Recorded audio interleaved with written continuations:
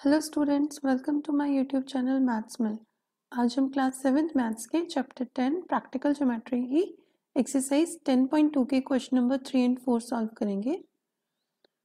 So question number three is draw a triangle P Q R with P Q four centimetre Q R three point five centimetre and P R four centimetre in what type of triangle is this तो देखते हैं कैसे draw करेंगे। Question number three में आपको क्या बोला है? सबसे पहले हम एक रफ स्केच ड्रॉ कर लेते हैं। We have to draw triangle P Q R तो रफ फिगर ड्रॉ करते हैं।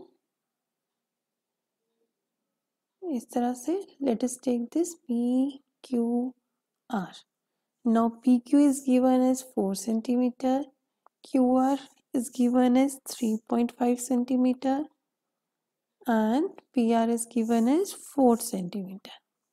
Okay? तो सबसे पहले हम बेस ड्रॉ कर लेते हैं क्यू आर यहाँ पर हमने पी क्यू आर इस तरह से नेमिंग की है तो हमने क्यू आर पहले ड्रॉ किया। अगर आप चाहो तो पहले पी आर भी ड्रॉ कर सकते हो, पहले पी क्यू भी ड्रॉ कर सकते हो। It's all up to you कोई भी एक साइड हमने ड्रॉ करनी होती है, जिसको हम बेस लेंगे। ठीक है? So let us draw Q R of length three point five centimetre इस तरह से, okay? okay? Name it as QR 3.5 centimeter. Okay?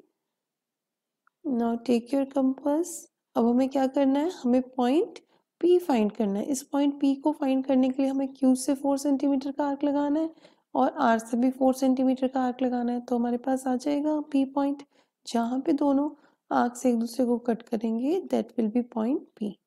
Take your compass, open it up to a distance of 4 centimeter. Now place the needle of compass at point Q and draw an arc like this. Okay okay? अब यहाँ से भी four centimetre का लगाना है और R से भी फोर सेंटीमीटर का arc now place the needle of compass at point R and draw an arc of length four centimetre okay now join this point of intersection with Q and with R. Okay, so this is point P. PQ was 4 centimeter and PR is also 4 centimeter.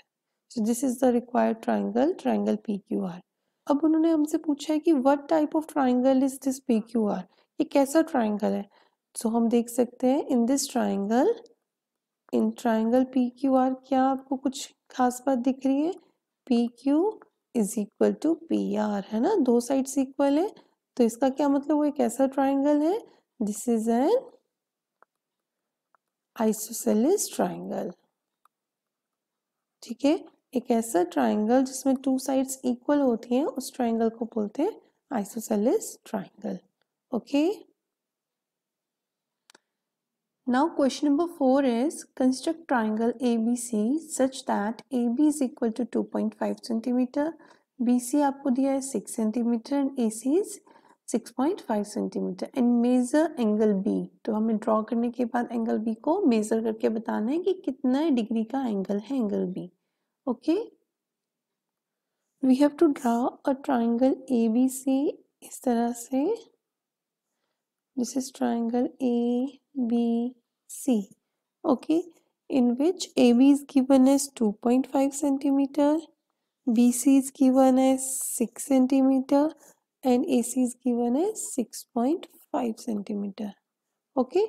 और साथ में हमें major करके बताना है angle B कितना होगा ठीक है तो कैसे करेंगे सबसे पहले draw a line B C six centimetre base draw कर लेते हैं इस तरह से हमने सिक्स सेंटीमीटर की एक लाइन ड्रॉ कर ली। Name this line as B C in what is the length of B C six centimetre okay अब हमें ए फाइंड करने के लिए बी से टू पॉइंट फाइव सेंटीमीटर का आर्क लगाएँगे और सी से सिक्स पॉइंट फाइव सेंटीमीटर का आर्क लगाएँगे। जहाँ दोनों आर्क्स कट करेंगे, वो पॉइंट आएगा A point so take your compass open a distance of 2.5 centimeter in your compass. 2.5 ठीक है? And place the needle of compass at point B and draw an arc of length 2.5 centimetre अब हमें सी से कितने centimetre का arc लगाना है? 6.5 centimetre का।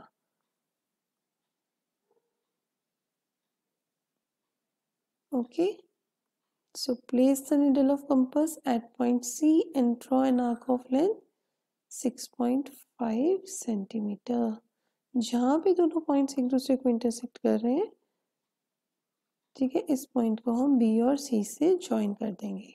So this will be point A name this point as A this is 2.5 centimetre and this is 6.5 centimetre now we have to measure angle A की angle A कितने डिग्री का है? So take your protractor place your protractor like this कि उसका zero जो है, आपके base के साथ कोइंसाइड करे। तो आप देख सकते हैं, ये जो आपकी लाइन ए बी है, ये कितने डिग्री का एंगल बना रही है? 90 डिग्री ठीक है? So we can write angle B is 90 degree okay I hope आपको सॉल्यूशन समझ आ गया होगा। Thank you for watching the video अगर आपको ये वीडियो पसंद आया हो तो इसे लाइक कीजिए शेयर कीजिए और मेरे चैनल को सब्सक्राइब कीजिए। और साथ ही बेल आइकन प्रेस करना ना भूलें, ताकि जब भी मैं कोई नया वीडियो अपलोड करूँ तो आपको उसकी नोटिफिकेशन मिल जाए।